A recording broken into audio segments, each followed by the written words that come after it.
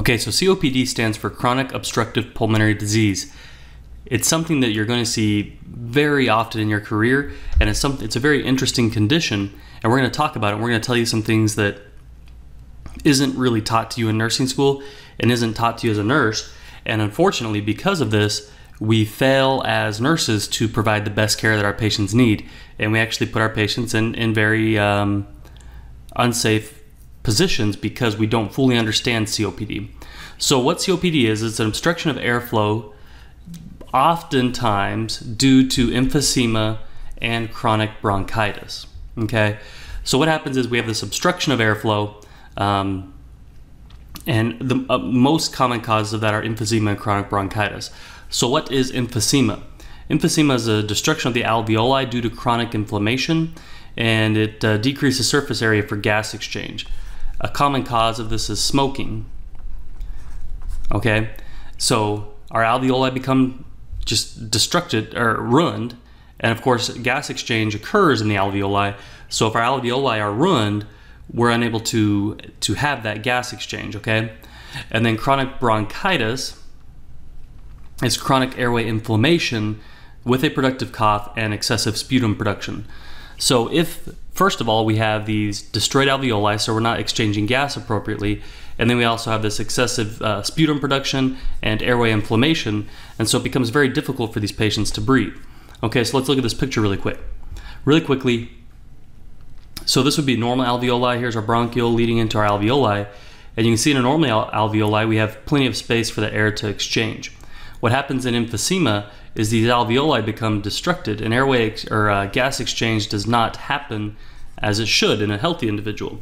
So the patient is not able to swap CO2 for O2 and obviously they're going to because of this they're going to have higher levels of CO2, okay? So what would happen in here normally is we we we have all this CO2 from our blood, right?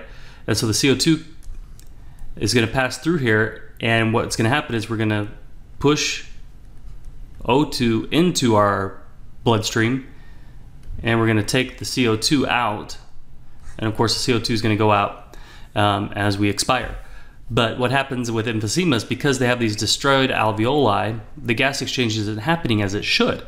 And so CO2 is re- remaining in the bloodstream, uh, whereas uh, you know the O2 isn't isn't being um, moved into the blood. So because of that, the patient has elevated CO2 levels, um, and what happens is they become accommodated to that elevated CO2.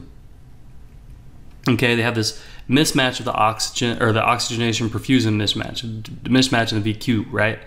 Um, and so we're going to get into that a bunch later. But then what happens with bronchitis here is, is you can see this inflammation occurs. And then what happens is we also have uh, all this excessive mucus production. So already they're not able to exchange gas as they should, but they also have this excessive mucus production, which makes it even harder for them to breathe. Hey guys, it's Jon with NRSNG.com. Thanks for stopping by and checking out our YouTube channel. Be sure to subscribe so you find out about all of our new videos as they come out.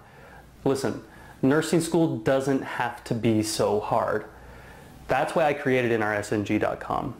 When I was in nursing school, I became so frustrated with the administration that just didn't seem to care, professors that didn't know the content or just read from PowerPoints, and so many other problems. So NRSNG was created to give you the tools, the support, and the guidance and the community that you need as a nursing student to accomplish your goal of becoming a nurse. Nursing is awesome. In my time as a nurse, I've worked as a charge nurse, a preceptor, I'm an RN, a CCRN, and I've done so much with my career, and I want to give back to you guys. So be sure to subscribe, check out the free book down below, 140 Must Know Meds, and be sure to check out the other videos that other students have found very helpful. You guys, thank you so much for stopping by. You can do this. Nursing is an awesome career, and I hope to see you around.